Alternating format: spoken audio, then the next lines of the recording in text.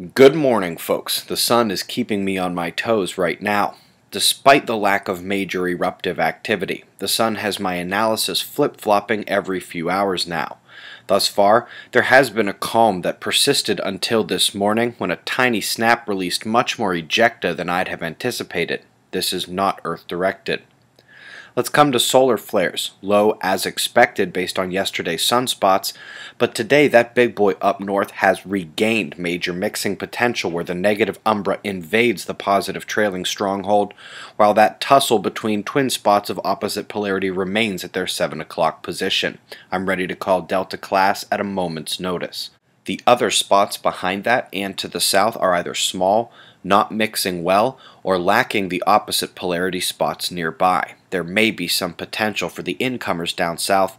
The next three days will tell us for sure. Also keeping me on my toes is the solar wind.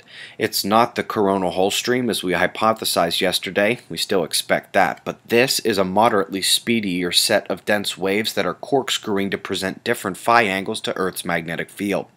This is currently causing significant but small scale disruptions to our field with stronger than normal magnetic pulsations.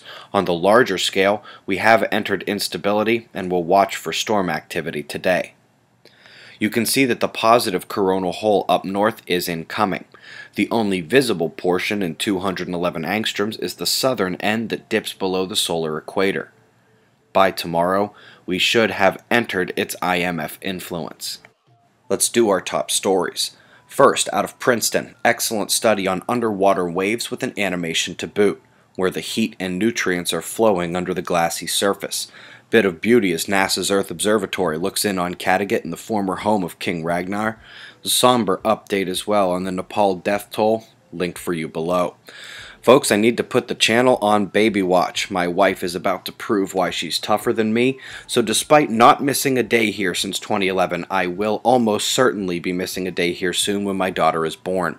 Also, folks, a bit of catch up. There are only 20 days left in pre registration for observing the Frontier 2015. Our first conference event is this October in Pittsburgh, and it's going to be a lot of fun. If you are watching on YouTube, it is the first link found below this video, and if you're over at suspiciousobservers.org, it is the button up on the top right side. While I'm over here, let's see if we can all get on the same page.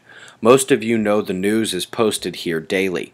Below that is the description of those major changes coming to the site June 1st, then our summary videos about Earth's magnetic reversal, the first quarter of 2015 update, our middle of the road fact based climate video, and the Sun series where you can become a skilled sun watcher in less than an hour.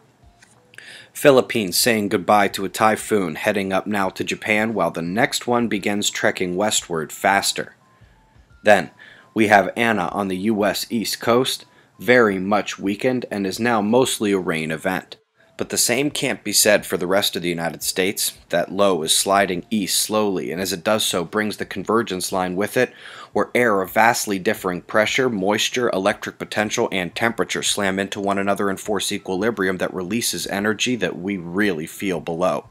This climate extremes event also dumped two feet of snow as Winter Storm Venus on the western side of the low.